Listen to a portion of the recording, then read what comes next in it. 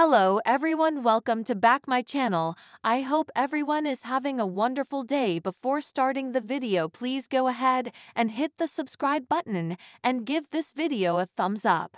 After three and a half months of dating, Avril Lavigne and Tyga are calling it quits.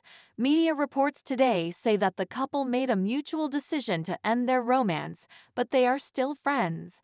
So how did she make off with $80,000 from the brief romance? Read on for all the details. The couple was first photographed on February 19, 2023, outside Nobu, where they shared a meal with friends. They were seen hugging outside the restaurant. Sources said they were just friends. At the time the photographs of Avril and Tyga hugging appeared, Avril was still engaged to Mod Sun.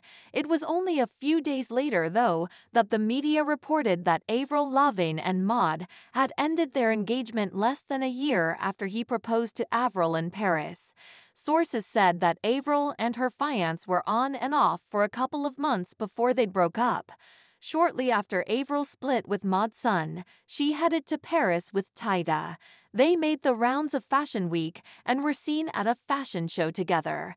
Tyga and Avril also went to a restaurant where Leonardo DiCaprio was having a party and then hit up a Mugler x Hunter Schafer party. That was when they were caught kissing by the media. The photographs were all over the internet. Friends of the couple swore that the relationship was casual and still something very new to them. Even though the two were spending a lot of time together, they were taking it slow, said friends of the couple. When Avril and Tyga made a surprise appearance at the CMA Fest 2023, they appeared close. Avril performed with Miranda Lambert on June 9. It was while Avril and Tyga were in Paris that everyone got to see the expensive necklace Tyga bought for her.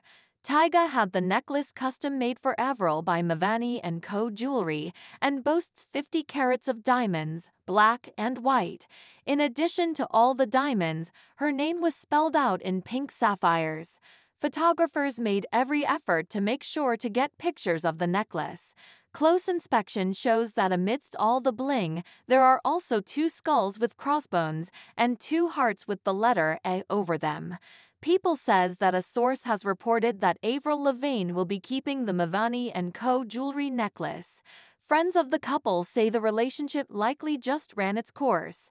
Tyga and Avril Lavigne made the decision together, and there are no hard feelings. Should Avril Lavigne return the necklace that Tyga had made for her, or is it her right to keep it? Have your say in the comments. Thanks for watching this video and please subscribe our Kardashian Update News YouTube channel for more update news.